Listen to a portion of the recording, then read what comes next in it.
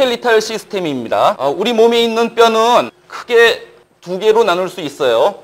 하나는 몸통에 있는 뼈, axial skeleton. 또 하나는 팔다리에 있는 뼈입니다. appendicular 스켈리톤.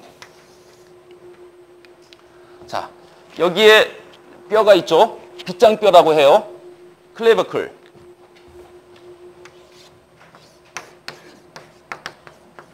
그리고 어깨에 또 뼈가 있죠.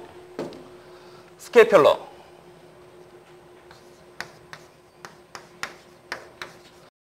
요 클레버클하고 스케펠러는 axial skeleton 같은데 아니에요. appendicular skeleton에 포함됩니다. 마찬가지로 엉덩이에 있는 뼈, hip bone이라고 해요. hip bone도 appendicular skeleton에 포함됩니다. 자, 뼈를 뼈 하나를 잘라봤어요. 여러분들 뭐 고기 먹을 때 뼈 자른 거를 본 적이 있어요. 보면은 뼈 바깥 부분은 어때요? 색깔이 하얗고 그리고 속에 있는 비, 부분에 비해서 딱딱하죠. 컴팩트 보온이라고 합니다. 속에 있는 것은 색깔이 어때요? 빨개요. 그리고 이거보다 이제 덜 단단하죠. spongy bone이라고 합니다. 자, 이 그림을 아주 간단하게 그린 게 바로 이거예요. 바깥에 compact bone이 있고 속에 spongy bone이 있습니다. spongy bone은 이름 그대로 스폰지처럼 생겼거든요. 다른 말로 구멍이 있다는 얘기죠. 이 구멍을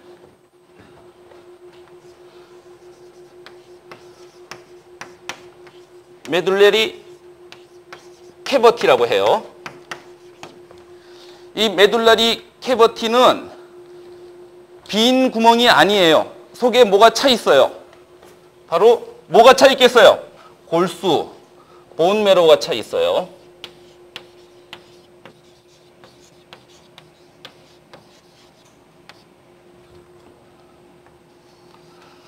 bone marrow는 두 가지가 있어요.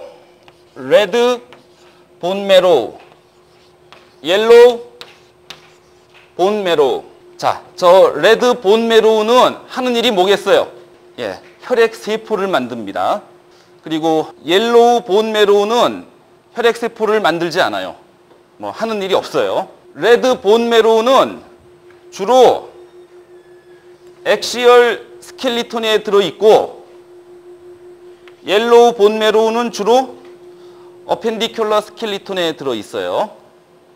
보기를 들어서 백혈병 환자예요. 혈액 세포를 만드는 골수, 즉 red bone marrow를 좀 꺼내서 볼 필요가 있어요.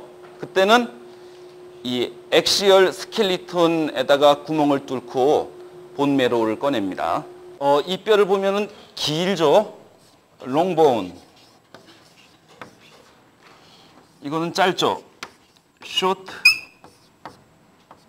bone. 어, 평평합니다.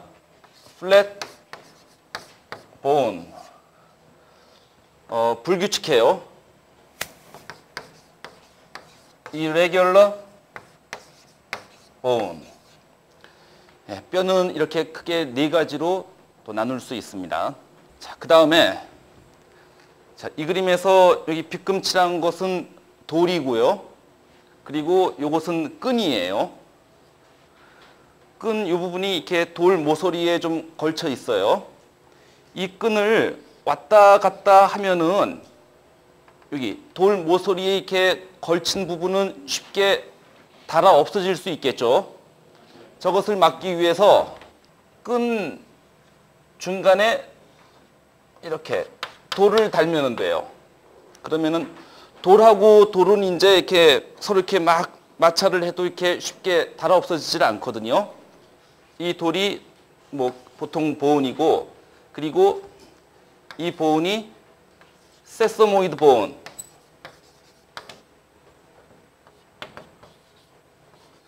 그리고 요 끈이 텐던입니다. 저 세서모이드 보는 텐던에 달려 있는 뼈예요. 그리고 다른 뼈하고 텐던이 움직이면서 다른 뼈하고 이렇게 마찰을 이렇게 합니다. 어, 쉬운 보기를 들면은 바로 무릎에 있는 무릎뼈예요.